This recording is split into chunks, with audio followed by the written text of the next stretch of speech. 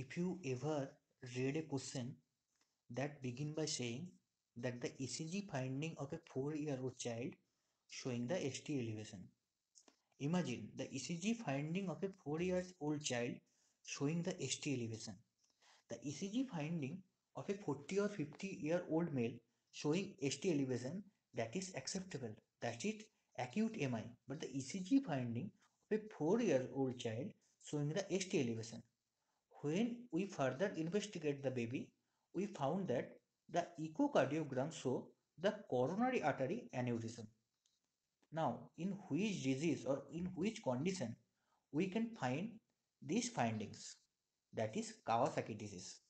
And now the Kawasaki disease are cases are rising in mainly in the Asian population. So it now nowadays it is the most common vasculitis in the children in Asian population.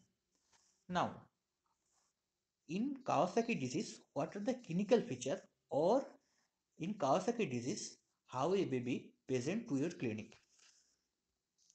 Now, a four-year-old child having fever for five days. So nowadays, the child or any anyone come to your clinic with fever, you suspect the COVID-19. But when you test for the COVID-19, it came negative. So you prescribe, you thought that it is a bacterial infection, common bacterial infection. So you prescribe PCM or antibiotic. But despite of taking PCM or antibiotic, the fever persists. Now, when the baby came you came to you after five days, you thoroughly examined the child and you found that the unilateral cervical lymphadenopathy. So you thought that this is a case of the tonsillitis, acute tonsillitis. So you examine the oral cavity. When you examine the oral cavity, the oral cavity is absolutely normal. But you suddenly saw that there is a strawberry tongue. So you suspect. So your diagnosis is coming to the two way that it may be the scarlet fever or it may be the Kawasaki disease. Now the scarlet fever is very very rare nowadays. So you your diagnosis point toward the Kawasaki disease. So you thoroughly examine the child and found the rash in the body and peeling of the skin. What is the peeling of the skin? Peeling of the skin means discoloration of the skin, mainly in the fingertips, perianal region, and the lips of the baby. And finally, when you see the eyes of the child, you found that there is a bulbar congestion.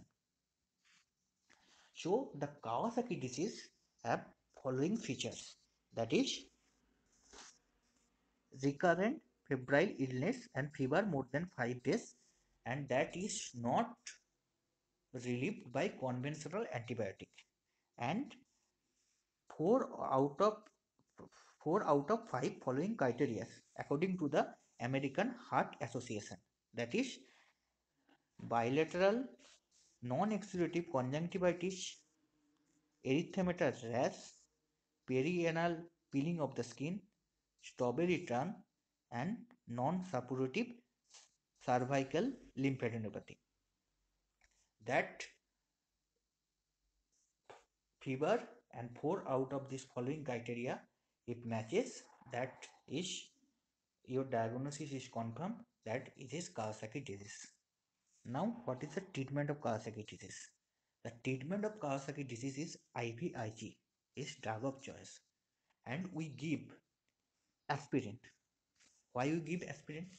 Because aspirin given as a prophylaxis to prevent the thrombosis in the coronary artery and prevent the MI. So we give aspirin to the patient and we investigate uh, investigation for echocardiography is done and admit the patient in ICU and supportive measurement also taken. Now we see some picture of Kawasaki disease. Mm, the child is admitted in our hospital. Now, in these cases that we can see the um, bulbar congestion. This is non-suppurative bulbar congestion and the strawberry tongue. We can clearly see that that is the strawberry tongue And this point is very, very important. In scarlet fever, the strawberry strand is red, but in Kawasaki disease, two type of the strawberry strand can be seen. Initially, the strawberry strand became the white strawberry, and later part is subsequently lead to the red strawberry tongue. That is the strawberry tongue. And we again see the bulbar congestion.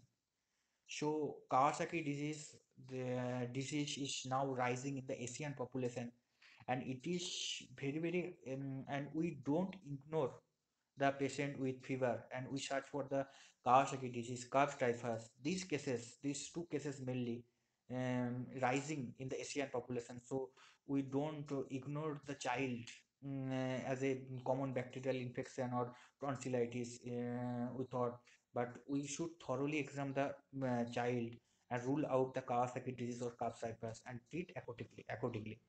Because the Kawasaki is dangerous and it finally led to the MI and death of the patient. Thank you.